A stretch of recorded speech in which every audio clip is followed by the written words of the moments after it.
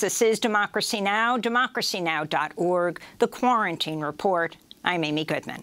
We begin today's show looking at the bombshell report in the New York Times that reveals Donald Trump paid no federal income taxes in 10 of the last 15 years.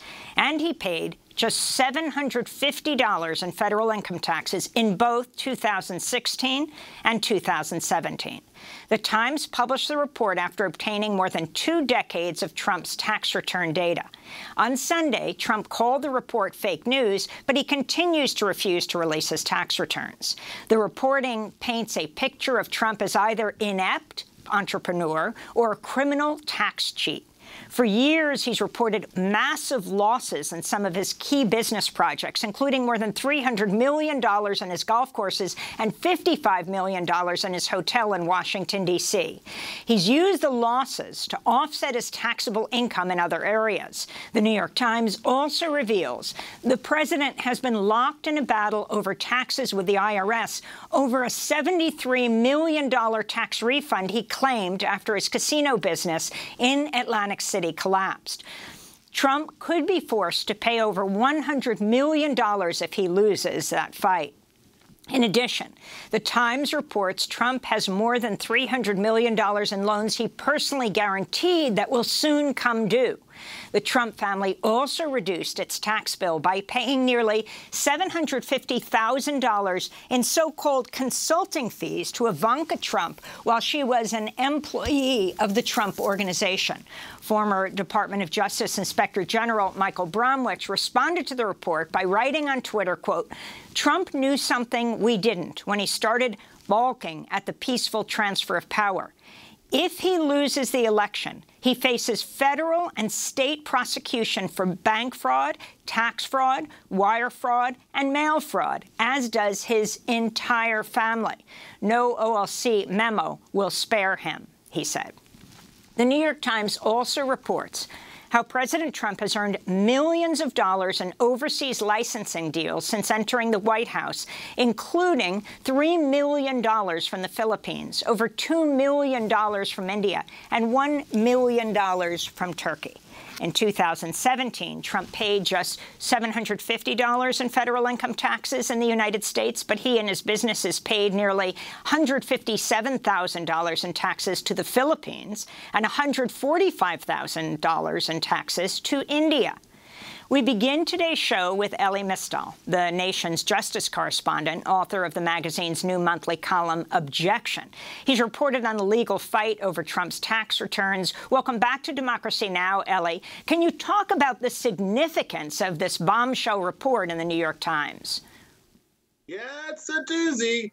Um, look, I go back on this to Michael Cohen, Trump's former lawyer and fixer's testimony before Congress. Michael Cohen told us all what the what the game is. He said that Trump inflates his assets when it helps him, for instance, to get on the Forbes richest people in the world list, and he deflates his assets when it helps him, for instance, to hide his income on his tax returns. Michael Cohen testified to this in front of Congress.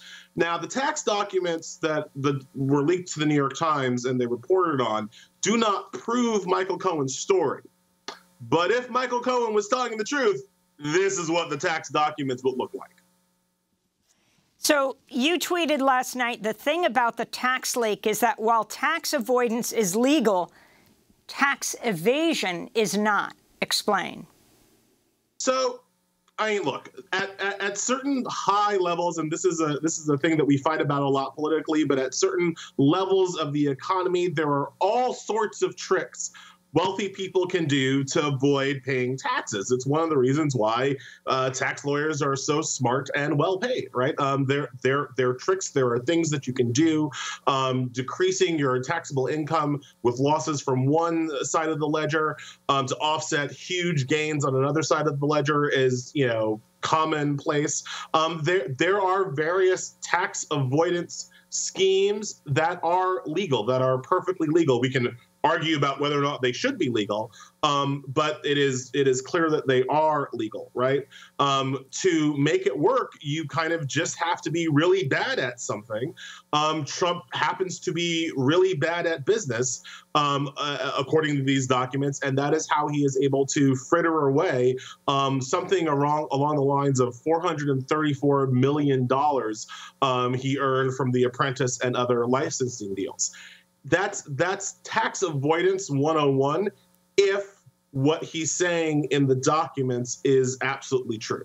So, however, um, go ahead. So, however, I'm saying, however, there's also the, the possibility that the tax documents are fraudulent, and if they're fraudulent, um, there are there's a lot of there's a lot of suggestion here um, that what we could be looking at is not tax avoidance; it could be the Michael Cohen allegation of tax evasion which is, in fact, a crime. So on Sunday night, uh, President Trump held a news conference right as the New York Times was dropping their bombshell report. It's fake news. It's totally fake news. Made up, fake. We went through the same stories. You could have asked me the same questions four years ago. I had to litigate this and talk about it. Uh, totally fake news. No, actually, I paid tax, but and you'll see that as soon as my tax returns. It, it's under audit. They've been under audit for a long time. So, Elie Mystal, you tweeted last night. Um, there's something he could do to prove this. He could just release his tax returns, which he has promised to do multiple times throughout the course of his presidency. This audit excuse is now is now known to everybody, right? We know we know what the audit is about. It's the 900, it's the 95 million dollars um, he paid in taxes to the IRS that he then got a 72.9 million dollar refund on later. That's what the audit's about. Everybody knows that now. Great, we're done. So now he can just release his taxes, right? Like he can just he can just he just don't go to his file cabinet, you know, open the drawer and send out his two uh, his 2019 tax returns if he is so if he is calling this fake news. Like we can't just accept anymore this blanket fake news story. What exactly is fake? President Trump.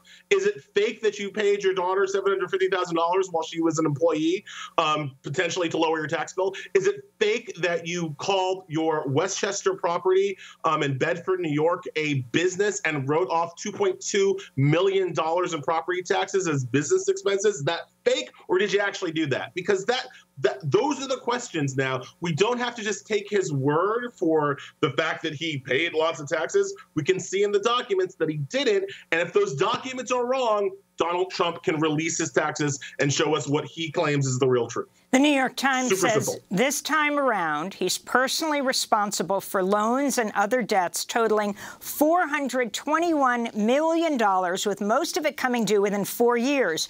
Should he win re-election, his lenders could be placed in the unprecedented position of weighing whether to foreclose on a sitting president.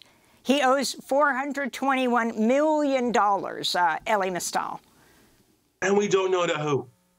Like that, that is the thing. Like of all the stories here, some of it is just kind of hilarious of incompetence on Trump's part. Some of it is perhaps criminal tax evasion. Um, the the loan, uh, the outstanding loans, is a threat to American sovereignty, and I am not being hyperbolic when I say that.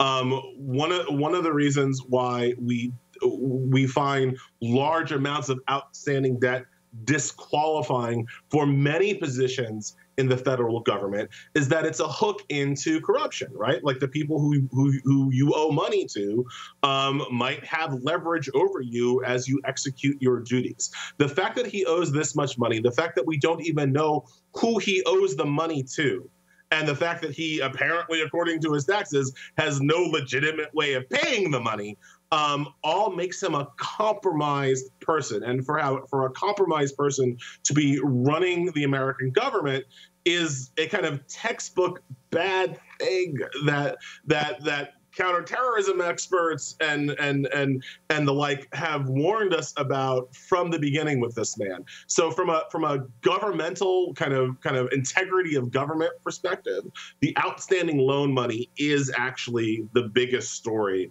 um, for people to focus on. And the New York Times is promising to publish more stories, and the first debate between him and Joe Biden is Tuesday night.